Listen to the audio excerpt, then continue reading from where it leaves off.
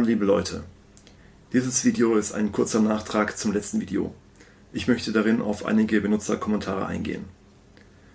Zunächst dazu, dass es zwei Demos waren und ich sozusagen den Eindruck erweckt hätte, es hätte sich um eine Demo gehandelt, also die Querdenken-Demo und die Demo vor dem Reichstag. Natürlich waren es zwei unterschiedliche Demos, aber es geht am Ende darum, was die Altmedien vermitteln können. Die, das Endergebnis, das Endresultat. Unser Ziel ist es ja, die Leute von den Altmedien wegzubringen. Wenn die Leute von den Altmedien weg sind, dann wird irgendwelch, auch irgendwelchen Hintergrundsleuten, ich, man weiß ja nicht genau, was da läuft, Bill Gates oder George Soros oder wer auch immer, diesen Leuten wird die Macht entzogen, wenn man die Leute von den Altmedien wegbringt. Jetzt ist es aber so, ob uns das passt oder nicht, die Altmedien haben es jetzt so hingestellt, dass die Leute denken, die Querdenken-Demo war vom, vom Reichstag und die Querdenken-Leute haben sozusagen den Reichstag gestürmt. Und die mögen alle gerne Reichsflaggen. Jetzt ist die Frage, was kann man dagegen machen? Wenn die Querdenken-Leute sagen können, guckt her, bei uns, es war nirgendwo eine Reichsflagge zu sehen. Wir haben damit überhaupt nichts zu tun. Dann ist es für die Altmedien, dann stellen sie sich bloß, wenn sie damit konfrontiert werden, ihr erzählt hier was von Reichsfahnen und unserer Demo, wirft das in einen Topf. Das hat gar nichts miteinander zu tun. Wenn das dann jemand sieht, der kann dann ganz klar sehen, okay, die Altmedien haben ganz klar gelogen, wir können nicht, ihnen nicht mehr vertrauen.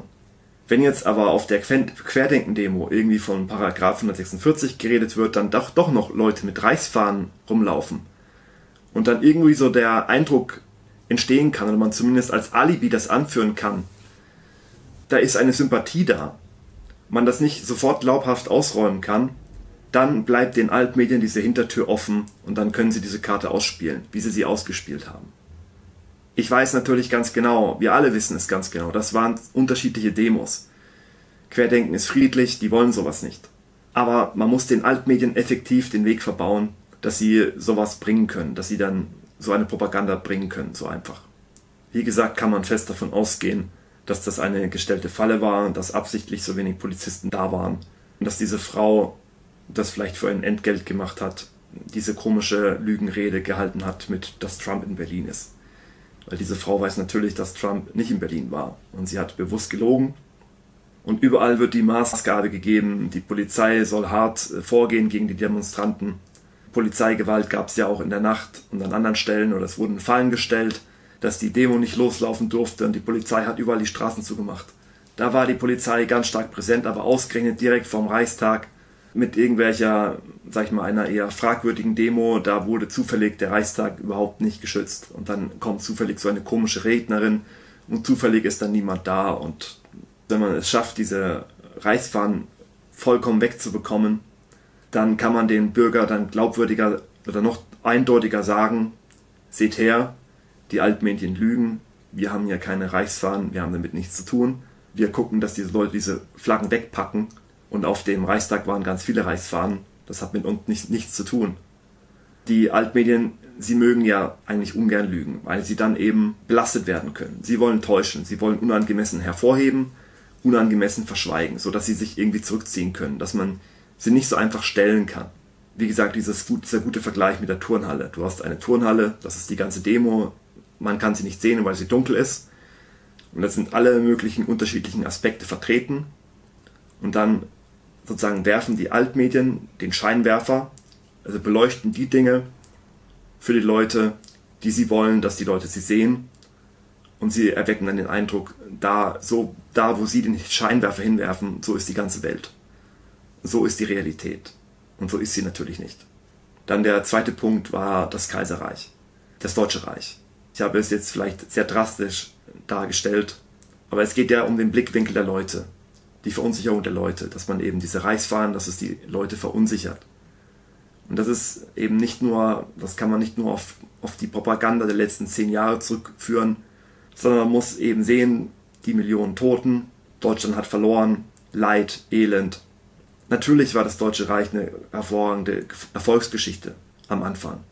Unter Bismarck. Bismarck war ein herausragender Staatsmann, aber das natürlich jetzt sagen wieder Leute, das ist alles Propaganda und es wird ganz viel verschwiegen und Kaiser Wilhelm war ja eigentlich doch ganz toll und, und das ist alles Propaganda. Und das mag auch zum Teil stimmen. Also es ist natürlich auch so, nur weil ich jetzt das Deutsche Kaiserreich kritisiere, sage ich ja nicht, dass die ganzen anderen, ganzen, ganzen anderen Nationen es, es super gemacht haben, dass es toll war. Das war es ganz sicher nicht und ich mag das auch nicht, diese Geschichtsklitterung, dass man die eigenen Schwächen unter den Tisch kehrt. Das mag ich bei uns nicht und mag es auch anderswo nicht. Und das machen die anderen Nationen, das, nur weil ich das jetzt bei uns hervorhebe, heißt es nicht, dass ich es jetzt bei den anderen toll finde, dass sie das machen. Ich hatte im letzten Video die Hundenrede zitiert und ich möchte jetzt auch nochmal ein bisschen darauf eingehen, warum diese Rede so wichtig ist und dass sie doch sehr viel zeigt, sehr viel unmissverständlich zeigt. Denn man muss sich die Frage stellen, wie kommt man auf die Idee mit den Hunden, ausgerechnet die Hunden? Man muss wissen, die Hunden waren ein Nomadenvolk, ein plünderndes Nomadenvolk, wie die Mongolen. Und meiner Meinung nach werden die Mongolen, solche Völker, die werden nicht angemessen schlecht dargestellt, sondern es wird, es ist ja so, die Nazis werden verurteilt dafür, dass sie zu Eroberungszügen ausgezogen sind. Und es war aber in der Vergangenheit nicht, nicht, war das, liegt das nicht weniger grausam ab. Die Mongolen sind rumgezogen und haben jeden umgebracht, haben die Brunnen vergiftet, alle Leute sind gestorben. Das war absolut grausam und es war verbrecherisch, es war Plünderung, es war absolut verbrecherisch. Und dann wird das immer noch so ein bisschen glorifiziert mit Eroberung dann die zivilisatorischen Errungenschaften von den Hunden oder von solchen Völkern sind null. Sie sind abhängig von römischen Tributen. Sie haben eigentlich nichts gemacht, sie sind eigentlich nur herumziehende Verbrecher und leben von Beute. Und es hat auch überhaupt nichts mit Ehre, mit Ritterlichkeit zu tun, irgendwelche Bauern abzuschlachten, irgendwelche wehrlosen Bauern abzuschlachten und sie auch in ihr Getreide zu stehlen und sie auszuplündern. Und so waren die Hunden. Sie sind rumgezogen, haben geplündert. Haben, sie waren mit ihren Reitern waren sie stärker und haben sie die Unterlegenen umgebracht und ausgeplündert. Und warum erhebt man jetzt, und man kann davon ausgehen, Kaiser Wilhelm ist gebildet, er versteht was von Geschichte, und warum erhebt er jetzt die Hunnen zum Vorbild? Und auch diese, diese Vorgehensweise. Gefangene werden nicht gemacht, das heißt gleich umbringen. Oder wenn ihr, oder sie sind euch verfallen, das heißt, man kann vergewaltigen, man kann die foltern, man kann alles machen mit denen. Und dann sozusagen mit, mit König Etzel, man soll sich in tausend Jahren noch an Deutschen, Deutsche erinnern. Das heißt, man soll Terror und Schrecken verbreiten. Man soll grausam sein, Gewalttaten begehen, sodass die Leute in Zukunft Angst haben. Es ist ja natürlich für eine Soldatenrede angemessen, dass man die Leute motiviert zu kämpfen und ein bisschen Pathos und dass man für die gute Sache kämpft. Aber das geht zu weit. Und natürlich haben da, es wollte auch, soweit ich das gelesen habe, wollten das auch die Leute verhindern, dass diese Rede, dass dies die, das Ausland mitbekommt, weil es eben so eine schlechte Rede war.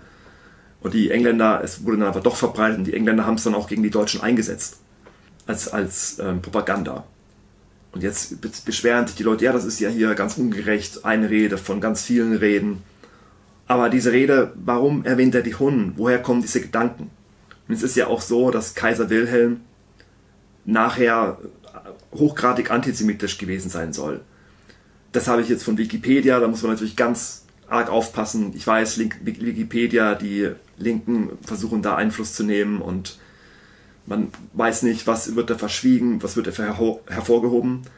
Aber hier werden Geschichtsforscher zitiert und wenn diese Zitate stimmen, dann ist es halt so ein typisches, ja, die Juden sind schuld am Übel der Welt und man muss die Juden umbringen, also eliminatorisch wie die Nazis, so soll es sich da geäußert haben, Kaiser Wilhelm. Und es ist nationalistisch. Und nationalistisch ist eine Spielart, kann man sagen, des ähm, Kommunismus auf eine gewisse Weise. Sozusagen, man bildet eine Einheit gegen etwas anderes.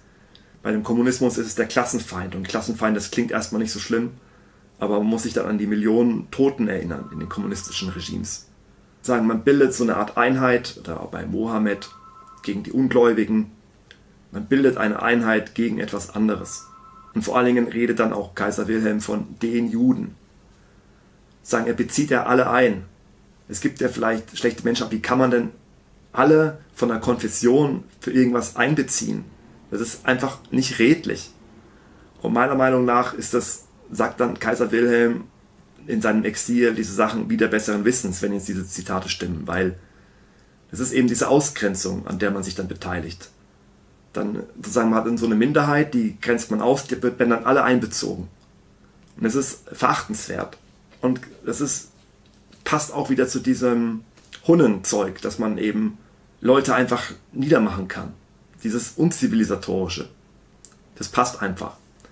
Ist natürlich jetzt so, Kaiser Wilhelm ist nicht das Deutsche Reich. Er kam halt dann, er wurde halt Kaiser. Und ich denke, man kann jetzt übereinstimmen und sagen, dass es jetzt nicht der beste Kaiser war. Und das ist aber genau das Problem an dem Kaiserreich. Das war ja das Römische Reich auch das Problem mit, ich möchte jetzt Kaiser Wilhelm nicht mit Nero vergleichen. Bin jetzt, wie gesagt, ich bin kein Geschichtsexperte, aber ich glaube, man kann schon sagen, dass das Problem bei Kaiserreichen oder überhaupt bei Monarchien ist, dass wenn halt der falsche Regent an der Spitze ist, dann hat man halt ein Problem. Und deswegen kann man, denke ich, ganz eindeutig sagen, auch wenn das Deutsche Reich am Anfang der Erfolgsgeschichte war und mit dem anderen Kaiser wäre vielleicht alles ganz anders gelaufen, wäre alles ganz super gelaufen. Aber man kann doch sehen, denke ich, sagen, dass das Kaiserreich, dass das keine Option für die Zukunft ist in der Monarchie, ein Kaiser.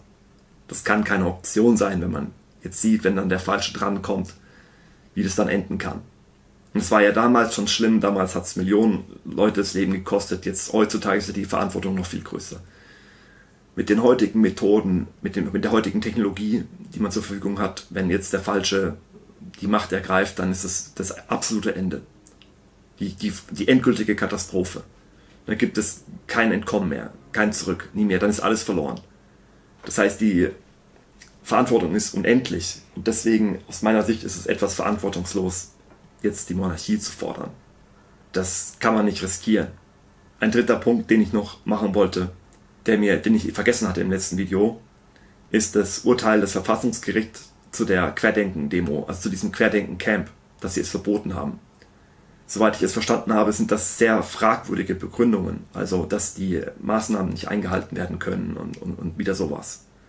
Und jetzt unabhängig von dem Urteil ist ja beim Verfassungsgericht ist es ja so, dass die Richter berufen werden zur Hälfte vom Bundestag und zur Hälfte vom Bundesrat. Und wir wissen ja, was für Leute im Bundestag und im Bundesrat sitzen. Und man kann davon ausgehen, dass die Leute, die berufen werden, dass das keine guten Leute mehr sind in Zukunft. Das heißt, wir sitzen hier auf einer tickenden Zeitbombe. Die Altmedien müssen entmachtet werden, sodass andere Politiker gewählt werden, die dann wieder vernünftige Leute ins Bundesverfassungsgericht schicken. So kann man es, denke ich, sehen.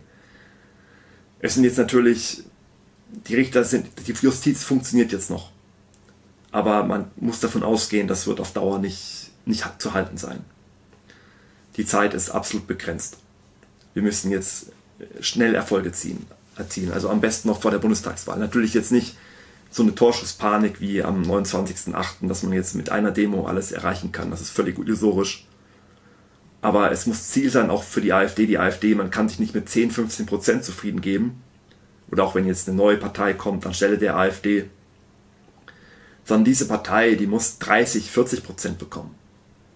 10, 15 Prozent ist viel zu wenig. Die Altparteien, die Altmedien, die, die, die Altparteien, Politiker sind ja im Grunde Handpuppen der Altmedien. Diese ganzen Leute, sie müssen möglichst schnell weg aus dem Bundestag und aus dem Bundesrat komplett, müssen abgewählt werden. Und die, die, die Bundestagswahl ist ein Stichtag und da darf es nicht so weitergehen wie jetzt.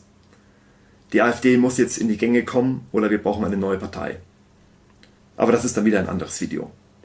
Ihr könnt ja schreiben, was ihr denkt und was ich vergessen habe. Macht's gut.